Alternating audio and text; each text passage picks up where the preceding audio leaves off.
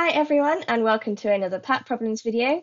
My name is Helena and I'm the Access and Outreach Manager for the Department of Materials at the University of Oxford and today we're going to be taking a look at question number 14 from the 2013 PAT paper. So let's have a look at the question.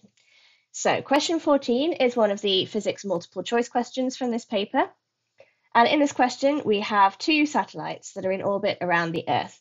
The first is in a geostationary orbit the second satellite orbits at a radius half that of the first, and we're being asked to find the period of the second satellite. Okay, and these are the four options we have to choose from.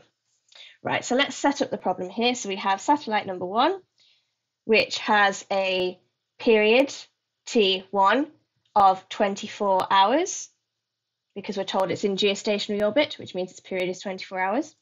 And let's say it has a radius r1 of little r here. Now the second satellite, satellite 2, we're told its radius r2 is half that of the first satellite, so it'll be little r over 2. And we're being asked to find its orbital period here, t2.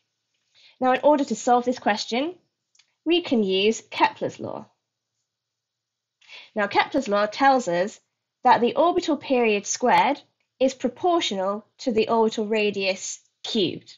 In other words, that the t squared is equal to a constant, let's call that k, times r cubed, which we can rearrange to give us a ratio of the orbital period squared divided by the orbital radius cubed, which gives us this constant here, k. Now, this ratio here, this constant, is the same for any orbit. So both of these two satellites, even though they're at different periods and different radii, are going to have this ratio being equal. So this means we can equate this ratio between the two satellites and solve to find our T2 here.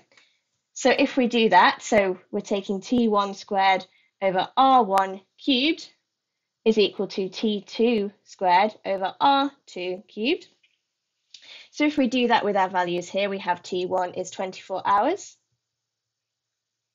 all squared, divided by R1, which is little r cubed. And that is equal to T2 squared, which is what we're trying to find, divided by R over 2 all cubed here. Now, if we expand this out, we would have r cubed over 8. So if we take the 8 up to the top of this fraction here, we have that that's 8t2 squared over r cubed. Okay, so we've equated these two ratios for the two satellites.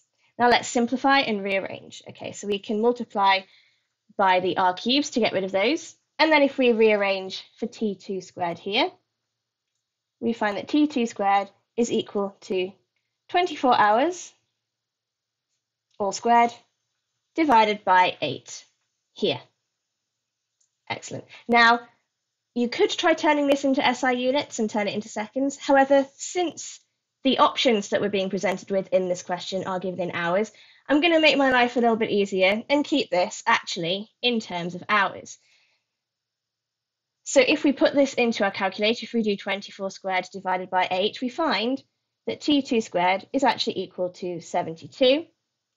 So if we take the square root of that, t2 is the square root of 72, which is approximately 8.48 hours. And matching this up to one of our options, we find that the closest answer is B, approximately 8.5 hours. Now, if you didn't have a calculator, which was the case when this paper was sat, you'd be able to, or you should be able to notice that the square root of 72 is somewhere between 8 and 9, which would therefore give us only option B as being the correct one here. And that's always good to do as a quick sanity check as well, even though we have calculators when we're practicing here. So that's the solution for this particular multiple choice question. I hope that was useful and please tune in again next week for another PAT Problems video.